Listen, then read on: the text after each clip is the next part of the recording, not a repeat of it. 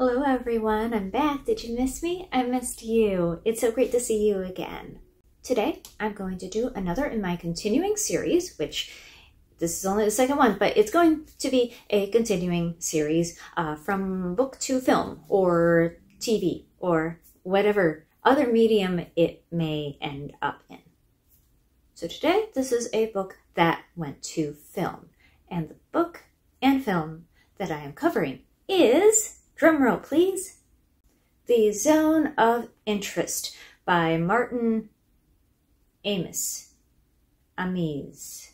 Um, this guy. So he is a very popular writer and he's done a lot of books, very prolific. Uh, this is the first one I've read. This is copyright 2014. It is a very unusual novel about the Holocaust this novel focuses on the aggressors, the Nazis, in particular, one family. The three principal characters are the matriarch Hannah Doll, her husband Paul Doll, who is the commandant of Auschwitz, and there is also Angelus Thomsen, who is a soldier under Paul's command and happens to have the hots for his wife. Now, the thing is, the Dolls the husband, the wife, and their two daughters live in a house which is built directly across from the camp. It is right next to it, across from the wall. It's a cute little family home with a cute little garden, but it, it, it's right there. So, yeah, interesting situation. Now, in this book, Hannah hates her husband with good reasons. Uh, because he entrapped her into the marriage. And she comes up with many ways to psychologically torture him. Uh, for his part, Paul is already shown to be coming apart at the seams, um, as probably are many soldiers that's shown subtly, but they do drink too much and other things like that. Now, Angelus is one of those soldiers who he isn't shown to do much directly um, that's bad, um, but he also doesn't do anything to undermine proceedings. He just goes in and does his job. If he's undermining anybody, it's Paul. Now, there are Jewish prisoners as supporting characters, and we spend some time in the camp seeing the horrors that are there. There are many things that happen along the way of this story. One of them is a woman who is an acquaintance of the Dolls, and everybody's friends with her, but then it is discovered that one of her grandparents had Romani blood. This means she is tainted and she gets put in the camp. However, Paul has a thing for her. He intervenes on her behalf. They have an affair, and uh, which culminates in her having to get an abortion. There is also um, a Jewish man named Szmul. It's S C M U L. Thus far, he has managed to escape his own extermination. Um, he and his fellow workers, called Sonders, have managed to escape that fate by managing the extermination of so many others. So, there are many different aspects in the stories kind of showing how the human brain adapts in order to survive both on the side of the victors and of the vanquished. Now, at the end of the story, Paul is the Allies have won. Um, Hannah is raising her children on her own because Paul is dead, and Angelus has managed to escape any punishment by working directly with the Allies. He meets up with Hannah, but they both realize there's no future for them. They have both, in their own way, been collaborators in evil, and past is no basis to have a relationship. Now, this novel is based on true events. The Dolls are based on uh, the Hesses or Husses. Uh, it's spelled H O S S in German and H E S S when it's Americanized, so I'm going to go with Hess. This is where things get even more interesting. I'm switching to the film now. The film was released in 2023, directed by Jonathan Glazer.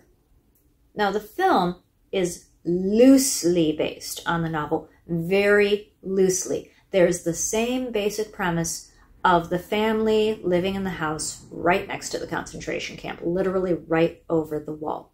That is it. The film is, in fact, so different from the novel that while watching it, I seriously questioned whether it was based on the novel at all um, until I saw in the end credits, oh, yes, based on the novel by this guy. So, the commandant and his family live in the little house right beside Auschwitz. The Dolls, however, are now directly the Hesses. They have five children, uh, two boys and a baby, in addition to the two daughters. Thomsen has been excised as a character. He has nothing to do with this story whatsoever. The attention is mainly on the Hesses and their doings. There are barely Jewish people in this story at all. However, they definitely are part of the story, and I'll explain that in a minute. A big change is in the character of Hannah. Now her name is Hedwig. She is apparently devoted to her husband and to her lifestyle and home. In fact, when her husband, now Rudolph, uh, is ordered to transfer to head up another camp, she refuses to go with him. So, yes, when it comes to Jewish people, we don't see many of them in the movie at all. There are a couple of prisoners who are sent to the house to unload things. When Hedwig's mother comes to visit, she questions the girl servants in the house. And her daughter explains, oh no, they're not Jewish, they're girls from the town. All the Jews are on the other side of the wall. We do not go in to the camp whatsoever. The closest we get is we briefly join Rudolph on the train platform as the Jews are being unloaded. However, we focus only on him. We do not see anybody else. We do venture sometimes out of the house otherwise. The family has idyllic outings by the river, which is close by the house and the road adjoining. We follow Hedwig down the road past the camp at one point where she goes to meet her husband by the river. There are scenes like that. Then we do venture to another town when Rudolph is transferred. And there's a brief sequence when we see a Polish family who also lives close by the camp. Uh, again, I'll go into that more in a minute. However, here's the thing the camp is almost always in the movie, at least when we're at the house, in one way or another. You can see it right on the other side of the wall because the buildings come up higher. There are smokestacks. We know what those are from. And it can be seen from this house and also from the house of the Polish family. Now, more than that, we can hear it because the grinding sound of the incinerators is constantly going in the background. Sound is a very heavy player in this film. There's one sequence where we're focusing on the beautiful flowers in the garden, but that is juxtaposed with the sound of shots and screams. We watch the flowers, then the picture fades into a solid color, and we're left focusing on just the sounds. There are many powerful moments like that. So, even though much of the action takes place in the house, in the garden, there is never any question to the audience that this is an illusion of an idyllic home life. The shots of the rooms are contained. They contain the walls, the ceiling. It's a contained area, but the constant sound in the background shows that nothing can shut out the truth. The banality of the evil even makes its way into the family's home. Hedwig and the other ladies of the house, her close servants and companions. They get periodic deliveries of clothing and jewelry which have been taken from the murdered camp inhabitants. And they go through these and pick out what they would like. They sift through, they try on with no spark of remorse or reflection. They even sit and gossip about their acquaintances who also do the same, including a woman who took a dress far too small for her. The eldest son is part of the Hitler Youth. He is shown uh, at separate intervals lying awake in bed at night, uh, going through his collection of teeth that his father has brought home for him. All the children being brought up in this way simply accept it as reality. This is what is because they don't know any different. So these things are there to disturb us. They should disturb us. Now, there are other ways in which the film keeps us from buying in to this illusion that the family has created for themselves. When Hedwig's mother comes to visit, at first she is thrilled by the house and the garden and delighted at how her daughter has landed on her feet. But she is also the first character to directly allude to the camp, wondering aloud if a former acquaintance might have ended up there. Also, she ends up being put to stay in the room of the daughters, which, it turns out, faces the camp. So even though the curtains are down, at night, the light from the fire shines into the room and she can't sleep. She gets up and looks out the window at it. And we can see that that makes an impact on her. This is the first obvious dent in any character's acceptance of that illusion. Later, there is also a brief moment where the youngest son is playing alone in his room, and a bit of extra noise from the outside comes to his ears, and he does get up and briefly looks out the curtain. Then he stops himself and goes back and tells his toys, No, we don't look. So, yes, this movie especially is about the mundanity of evil. In so many ways, the Hesses are just a family living out their lives. One daughter is prone to sleepwalking, and we show Rudolph tenderly picking her up, carrying her back to bed, and reading Hansel and Gretel to her. In another scene, he takes two of his children swimming at the river when he notices something in the water that is bad, and he rushes to rescue them, to get them out of there. He takes them home, everybody scrubs them down so they'll be safe and they won't get sick. What was in the water? It was human remains. There are also a couple scenes with multiple Nazis. These are very basic business meetings. There's a scene at Rudolph's house where they go over schematics for a new oven system. Then later, when he is transferred, he's at a large office building. It's a very large meeting. And basically, it's a business deciding what they're going to do next quarter. After one such meeting, Rudolph leaves late at night after everyone else has gone. He heads down the stairs toward his temporary living quarters. And a ways down the stairs, he is overcome by sudden nausea and retches for a little while. This is the only point where it is shown that, however unconscious, there may be a part of him that is repulsed by his actions. This is a particularly great scene because after retching, he pauses and looks down the darkened hall.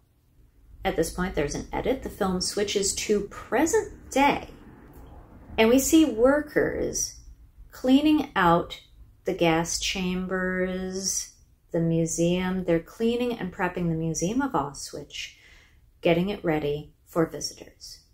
That shows that even today, such an area where such horrific things happen is filled with mundanity because the people who have lasted and been able to have children who have grown at the time has passed, people are still going about their lives.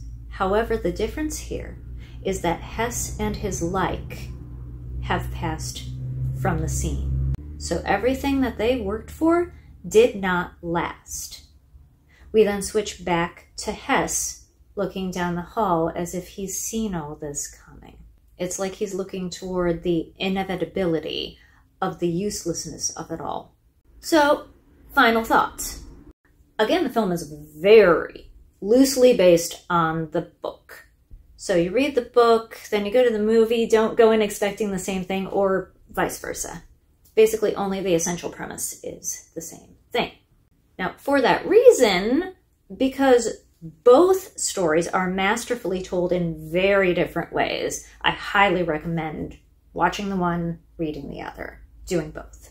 Just give some room in between because predictably, this story, that story, they're both very heavy. Each one has scenes and shots and lines that will stick with you. But then again, I, I don't think you go into any story about the Holocaust expecting a rocking good time, or at least I would hope you wouldn't. So, this isn't really a content warning, just an underlining that, yes, those expectations of a story of tragedy, degradation, and humans' capability of cruelty to other humans, those expectations will be met. You know, humans are capable of so much, just unlimited kindness and generosity, but also the lowest depths of malice and brutality. And we must always be on our guard to be sure that the latter does not win out. So, yes, very heavy subject matter today. Um, hopefully, next time I'll come up with something lighter, but it, it's worth it. The book is worth it, the movie is worth it. Definitely check them both out. And uh, yes, I'll see you next week when we will have happy fun times and something light and fluffy. I don't know what yet, but I, I will definitely switch gears then. Uh, we all need it. Um, so, yes, I'll see you next week. I hope you join me. Bye.